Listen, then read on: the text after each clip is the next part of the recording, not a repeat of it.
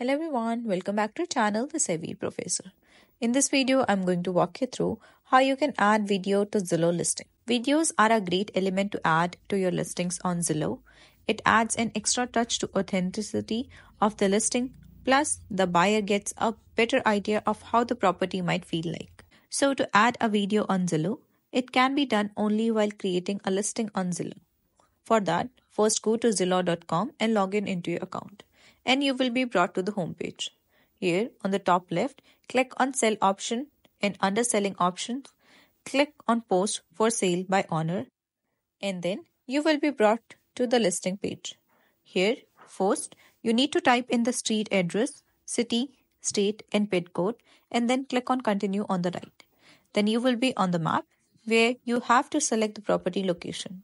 You can click on yes, it's the correct location if the location selected by Zillow is right and accurate. However, if it's not, then click on no, let me check it on the right and then drag the cursor on the map to where the rental location is. Once you're done, just scroll down and click on save and continue. Then you will be on the final listing page. Here, first you will be asked to enter your price, upload the photos, and when you scroll down under the photos, you will find the virtual tour URL. Here, you can paste the link of the video to be added to the listing. In short, you can't upload the video directly because the size on the server would be way too difficult to handle. On the contrary, go to Google Drive, log into your correct account and upload your house video to the drive. Once uploaded, right click on the video and click on share.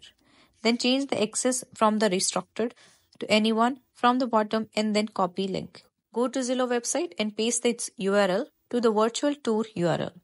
Once the link is pasted, go through the other specification of the listing, home facts, dimension descriptions, amenities additions, and once you're done with the filling all the description, scroll down to the very bottom and enter your contact information and click on the checkbox giving your Zillow permission to post and testifying you have the authority to post the listing. Finally, all you have to do is just click on the post for sale by owner and you will be done. Once the property listing goes live, when any buyer clicks on the virtual tour URL link, they will be taken to the drive video.